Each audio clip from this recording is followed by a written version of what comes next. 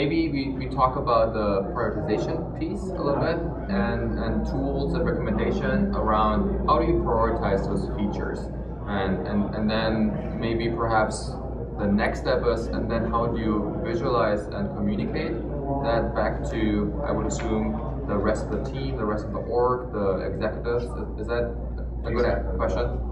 Anybody who wants to take that question first?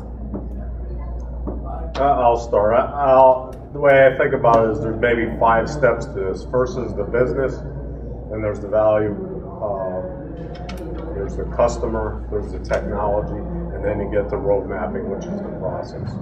So I like to start with the business and the value because that helps me prioritize things. First, starting with the business, understand what is your business vision and what are its objectives or goals over the next five years. That helps inform some roadmap strategies and implementation. Second is the, the value, and that deals with the customer. So it's important to understand, I think, uh, the value chain of your customer.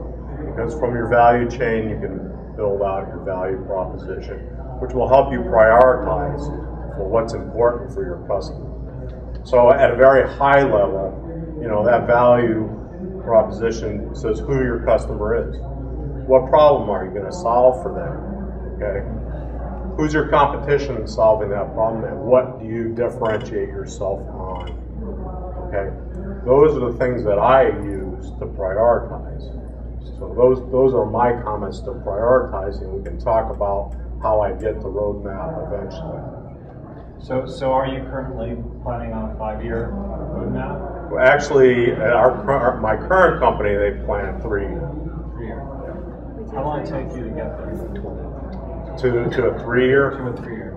Uh, it probably took them five years to evolve from where they were in a startup mode to where we are today, which is pretty small company still. My, I'm sorry. I, I, mine is brief. Um, everywhere I've ever been as a product manager, I think the key to addressing your challenge is you have to get cross-functional buy-in, executive buy-in. You can't have. I've, I've been sabotaged by the engineering department. I've been sabotaged by marketing. I think I see other people nodding along. You've got to call them into a room and hold their feet to the fire and say what's really the priority. Um, I'm not hearing that that's something you can affect. I'm hearing that's something that you're perhaps a victim Oh, of. that's, no, that's something that I do. Okay.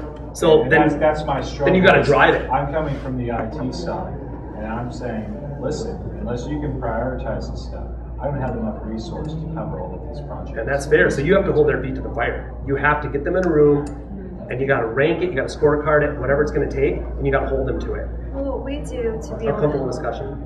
What we do to help prioritize that as product managers, we go up and we go on the board and we write out, we do post-its, the good old-fashioned post-its and whiteboards, just to get our thoughts on, you know, what are the primary concerns or problems we're trying to address. We group them together, we identify the themes, we put it all together.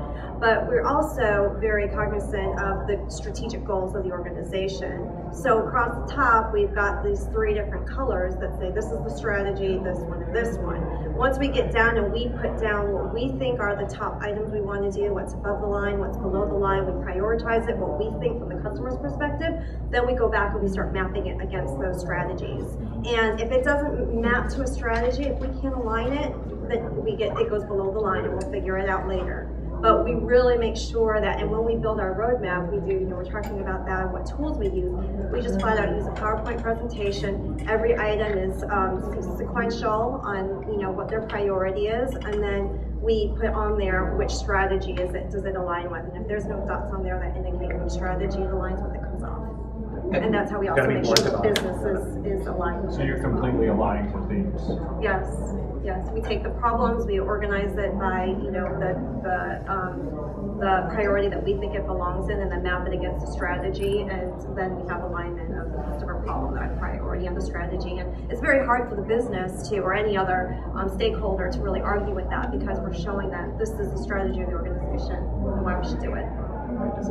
I, I think it's easy too, and one of the things I'm hearing uh, all three of you talk about is organizational strategy. So, product strategy doesn't exist in a vacuum. It has to be embedded in the organization strategy, and those are very different And for like we're a small technology company, we have 200 employees, and so um, you know it's easy to say, hey, come up with the product strategy, and then you know and the executive team can either say that, and you can do that, or you can say, well, what's the organizational strategy that we're driving to, and how do each of these pro- projects or new product lines or products fit within that organizational strategy, and then you can get your executive or cross-functional team to have some buy-in of okay now let's place these and which of these is the, the most important and is this actually going to fulfill that that need? And then you can go down and kind of map out okay here's and then there's still some juggling right because you actually have to look at the resources you have and when they'll be available and i can do this now and um, you know that's a conversation i've had with my vp of sales of you want this this new uh, sales tool before this other sales tool, but hey, I can actually deliver them. I can either push them both out or I can deliver the lower priority one first and then the higher priority because of how our resourcing aligns. And so, you know, that's a conversation that's, it's not in a vacuum, but a lot of times I think product managers are asked to present it and then we'll, we'll run with it.